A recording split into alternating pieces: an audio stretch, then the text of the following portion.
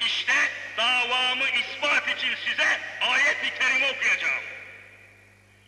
Böyle meşakkatsiz, çilesiz, mücadelesiz, can vermeden, mal vermeden, kan vermeden cennete gitmek vallahi hayaldir. İşte ayet-i kerime okuyorum şimdi. Estaizu billah. Bakara suresinin 214. ayetini gidin okuyun. Bakın ne söylüyor Cenab-ı Hak. Em hasibtum en tedhulul cennete ve lemma ye'tikum meselul lezine halev min kablikum messethumul be'sâ'u ve'd-darrâ ve zulzilû hattâ yekûler rasûlü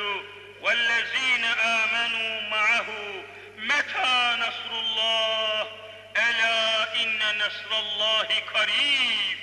Sadakallahül azim. Cenab-ı Hak bizzat bize hitap ediyor. Em hasib tüm, Arapça tüm demek, entüm siz demek. Karşısındaki Müslümana hitap ediyor. Cenab-ı Hakk'ın kitabı. Yoksa siz, bakınız manaya Allah aşkına, yoksa siz ey Müslümanlar, ey Müslümanım diyenler, em hasibtüm, zanneder misiniz ki, zanneder misiniz ki, neyi ya Rabbi? En tedhulül cennete, cennete gireceğinizi mi zannediyorsunuz? Cennete gideceğinizi, cennet ve cemalullah'a, nail olacağınızı mı zannediyorsunuz? Evet ya Rabbi, evet öyle iman ediyoruz. Zannetmek şöyle dursun, iman ediyoruz. Öyleyse hazır olun diyor Cenab-ı Hak. Bakın, hazır olun. وَلَمَّا يَأْتِكُمْ مَسَلُ الَّذ۪ينَ خَلَوْ مِنْ قَبْلِكُمْ Sizden evvelkilerin başına gelen belalar, Allah yoluna canlar, mallar, kanlar verilmedikçe, sizden evvelki eshab-ı kiramın, tabi'in-i kiramın, şehitlerin, aşıkların, salihlerin başına gelen belalar ve musibetler sizin de başınıza gelmedikçe vallahi cennet size yoktur diyor Kur'an-ı Kerim. Öyle rahat rahat yatağında uyuyacaksın. Her sene turistik bir geziyle Beytullah'a gideceksin memlekette nesilleri İslam'a çağıracak bir teşekkül olmayacak. Yavrularımız, çocuklarımız habire inkara gidecek. Memleket rezil olacak. Yatağında rahat uyuyacaksın.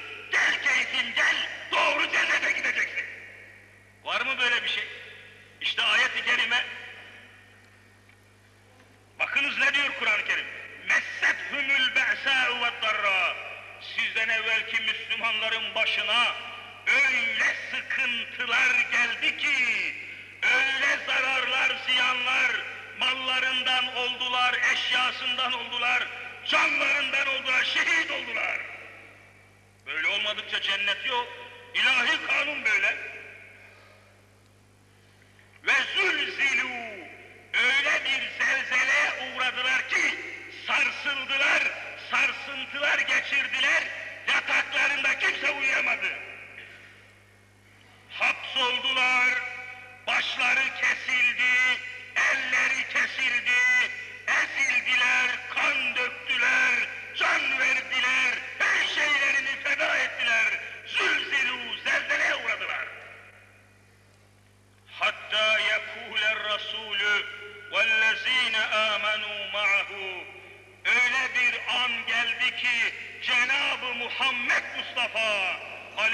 Aleyhissalatu vesselam ve onunla beraber Allah'a ve ona iman edenler sıkıldılar, sıkıldılar, hiçbir çareleri kalmadı da meta nasrullah, Allah'ım nusretin nerede kaldı dediler. O noktaya geldiler. Senin hani sıkıntı, hani meşakkatin senin, hani zorluk zahmet, Hani, hani senin mücadelen? Cennet umudu için bu, bu sıkıntılara ve meşakkatlere girmedikçe kabil mi kardeşim? Şimdi tarihi hadiseyi nakletmeden geçmeyeceğim. Efendiler, Medine-i Münevvere'de Hazreti Muhammedül Emin aleyhissalatu vesselam Efendimizin bütün gayesi ve gayreti İslam'ı yaymak idi. Her gün İslam'a girenlerin sayısını çoğaltmaktı. Çünkü bütün vazife insanları küfürde ve inkarda kalmaktan kurtarmak.